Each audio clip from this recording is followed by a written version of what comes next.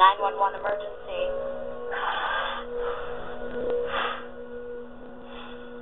I need an ambulance. I have you at 9212 West 3rd Street in Los Angeles. Room number two. What's the emergency?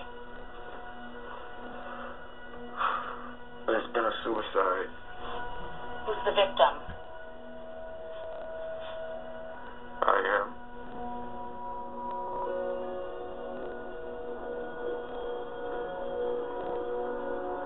In seven days,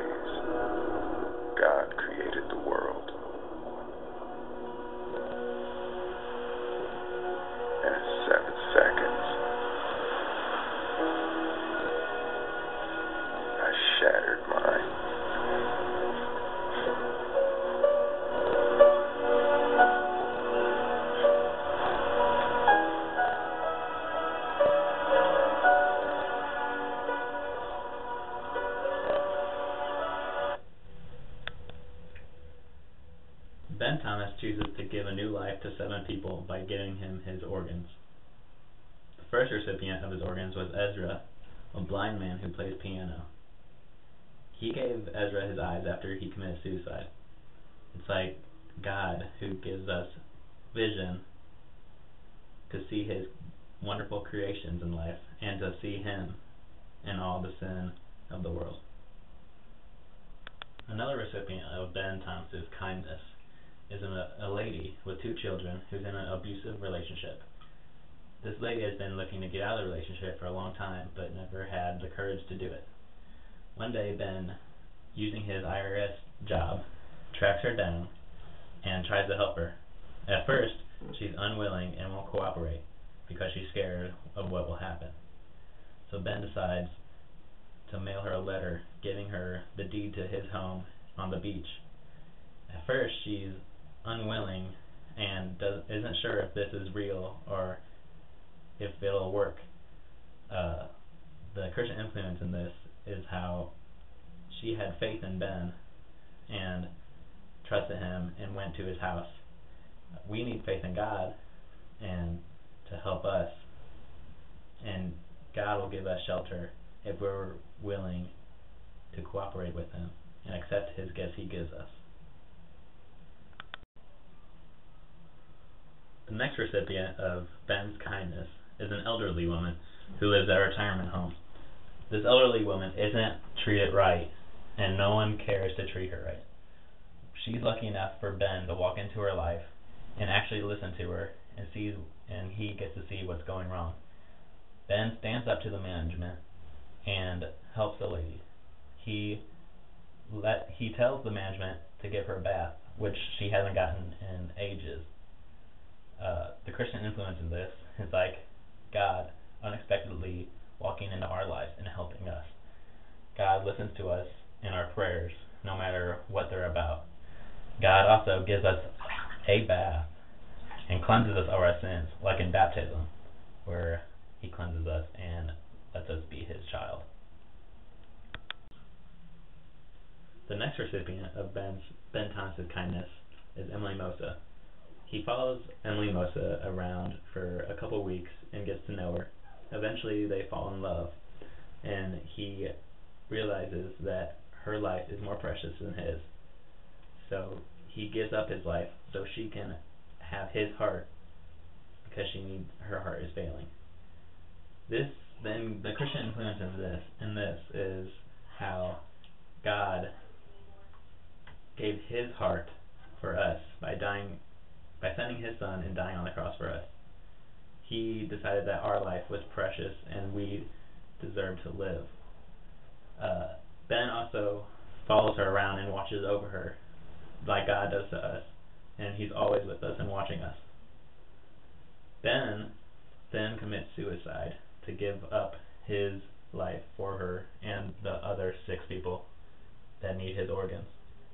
Uh, he commits suicide with what in his eyes he sees as the most beautiful creature on earth, the box jellyfish. The box jellyfish can resemble sin in a way that sin is tempting and looks is looks pleasing in the eye of a sinner. Uh, but ultimately it'll lead to death.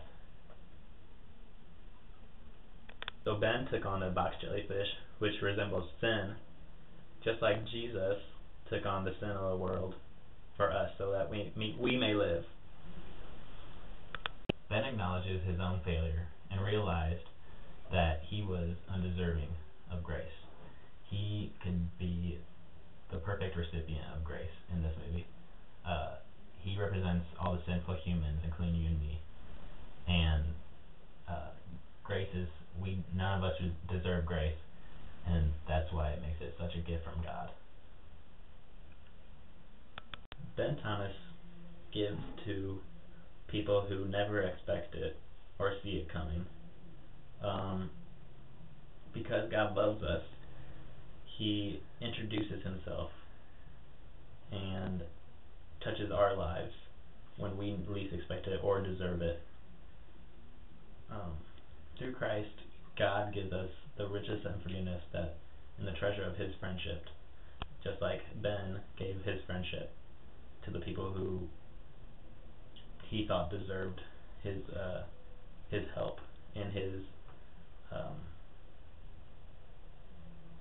grace, I guess, to give them a new life.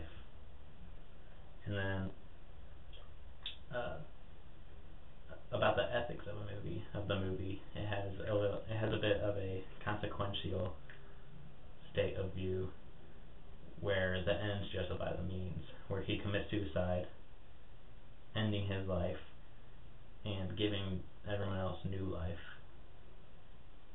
and and helps them a lot. So the major theme in this movie is definitely grace and redemption, where throughout the whole movie Ben Thomas is looking for redemption and grace and thinking he doesn't deserve it, ultimately making uh, making him kill himself. Um,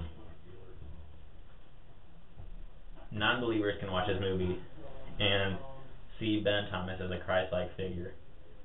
Um, an interesting thing is the name Ben means son, like son of God, and he gives his life to save others, and non-believers can see that, uh,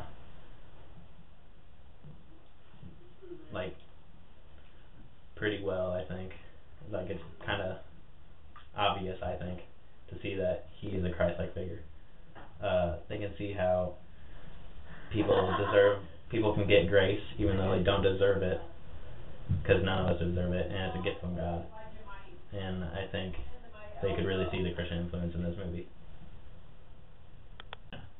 There's a couple quotes in the movie from ben, from Ben Thomas. Uh, one of them was, "All I was all I ask, all I ask is that you honor my wishes, and of course live life abundantly." Um, God wants us to honor his wishes and his law and following him and he tells us to also to live life abundantly. So the the quote is kind of Christian influence there. And there's another quote dealing with the lady who now owns his house. Um, in the letter he sends her he tells her to um, if you're wondering why you like why why do you deserve this house he says if you're wondering why you please stop uh, people may wonder why we receive God's gift of grace and love, and uh, God doesn't want us to wonder why we we get it or deserve it. He just wants us to know that He died for us because He loves us, and that's the only and that's why we receive His gifts because He loves us.